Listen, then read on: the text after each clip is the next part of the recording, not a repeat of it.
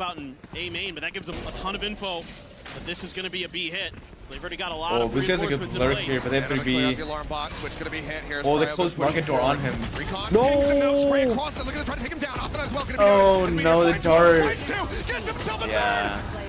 That's.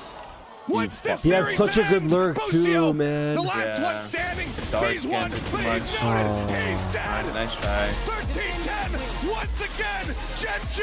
I wonder why they didn't want to. back. I don't know. It could have worked. That could have worked, but that Transform fucked them. once again. They take Yeah. down the If American they just sat switch, if the, if the dart didn't get them, they would have just maybe sat switch with the lurk. I don't know. The lurk would have been so good. Like, if they lived for a little bit, because he got a really good And timing. they just get Yeah. better and better and Man. better. They power up. The It's a hard match, dude. That was a hard match. Yeah, here Gen G and to fun. shut down It's, what- it's kind of what Gen G did in Madrid too. They had an insane upper bracket run, but Miomai Sen ended up winning the on lower this bracket. Yeah. B site, that's doable. he wasn't having GG. any of it. GG, them. Absolutely Cool. fine. Man's playing Killjoy, seven first bloods for him. What a performance. For 100 Thieves, obviously, tournament not over. A chance to run it back.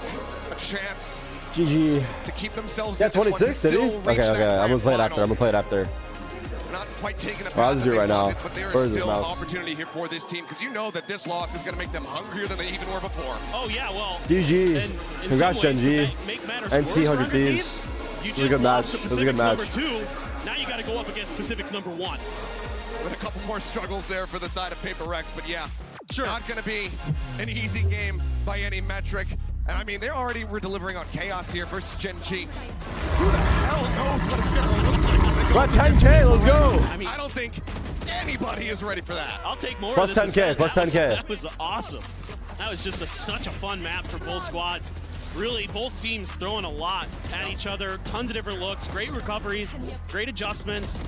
You got to give 100 Thieves credit. Like, it was a rough start on both maps, and they were able to bring it back both times. So there's still a lot of fight in this team. It's just Oh. you can't. It's so weird because with both of these I wouldn't teams, 100 like, you Thieves off, slow though. Right. Because if you come out of the gate, Yeah, swinging, no, you're just gonna 100%. I think the still make a lower so run. Sturdy in the long run. Yeah, I think they just had a low, uh, slow, slow starts against disappointed Gen G. I mean, didn't- Gen G, Both they, they were so we didn't get to confident, like going when they're swinging at the beginning of the through. games. Yeah, like they had like hot starts in both both maps. Yeah. Great plays here throughout. Solid attempts for the side. 100 Thieves to run this one back, but giving up far too much at the start of that. 100 Thieves. PRX is gonna be a Far too much banger. at the start of that Damn, 100 Thieves PRX. just came But the thing is gonna with be a banger PRX, like I don't think they're in their best form, but I feel like they could easily snap into it at any moment. Camaraderie Yeah, still you never know. It just takes like one match.